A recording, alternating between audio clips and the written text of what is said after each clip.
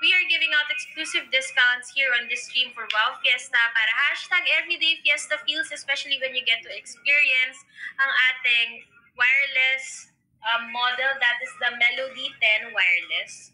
So, again, um, dapat unboxing to, but then I already set up my my um, unit para hindi na siya kain oras. But I will show you um, everything that is part of the package. So, this is the Wow Fiesta Melody Melody 10 wireless. Meron din tayo Melody 10 Plus na may wire siya and it's uh, less cheaper than this one. But like I mentioned earlier, the SRP of this wireless set, um, it's 16,999 and yung regular discount niya is 1,500. Kasi bago nga to and it is on discount until December 31 of this year. So, pasok na pasok sa holiday season. Pero, dahil um, swerte kayo na napasok sa stream ko, you guys can also use um, our discount code that is WFKUMU2022. So, in partnership with Wow Fiesta and Kumu, ayan nga, meron pa kayong additional discount of 775. So, from almost 17,000, you guys can just get this for 14,754. So, meron na yung dalawang wireless professional mic and yung unit. Meron din siyang kasamang um, user-friendly remote control. Ito yan. So, very functional kasi yung mga kailangan niya na functions, one click away lang dito sa remote na kasama. Meron din siyang song list and user manual. At meron din pala siyang bag. Actually, ito yung bag. So, pwede siyang dalahin kapag ka mag-sleep over kayo, di ba, with your friends. So, ayan. Papakita ko sa inyo yung mga laman. So, ganito siya.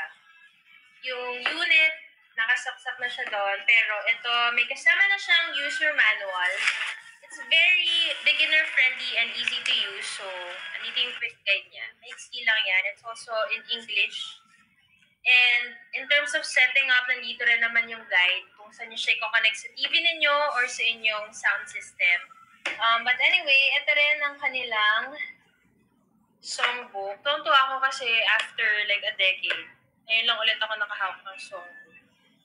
Except pag lumalabas pala kami before, yung sa mga Music 21, ganyan. Pero at least, diba, ito, lalo na ngayon, parang very busy, ang hangout ko na lang with friends kapag ini-invite ko sila sa bahay. So, at least now we have more bonding moments kapag ka nagkantahan kami using my Wow Fiesta Melody 10 wireless. So, again guys, this is the songbook, the manual, and meron din siyang yung mga cables, everything that you need to connect this, kasama na din siya. At meron din siya ng auto-volt power adapter, syempre, para mag-work yung unit at yung USB flash drive. So, yung USB flash drive na yon kasi syempre, guys, usually talaga, um, pagka nag-video tayo, gusto pa rin natin makita yung mga bagong songs, di ba? Kasi ngayon, ang nangyayari, bibili na lang ng Bluetooth mic, tapos kukonect ka lang sa YouTube kasi nandun yung mga latest songs na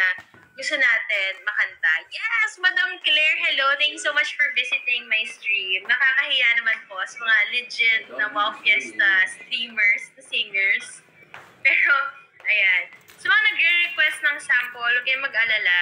Um, in just a bit, ayan, mag-start na tayo ng ating sample as a voice coach to Prima Clara. Ay, wow! Pero, ayan, ano man sinasabi ko?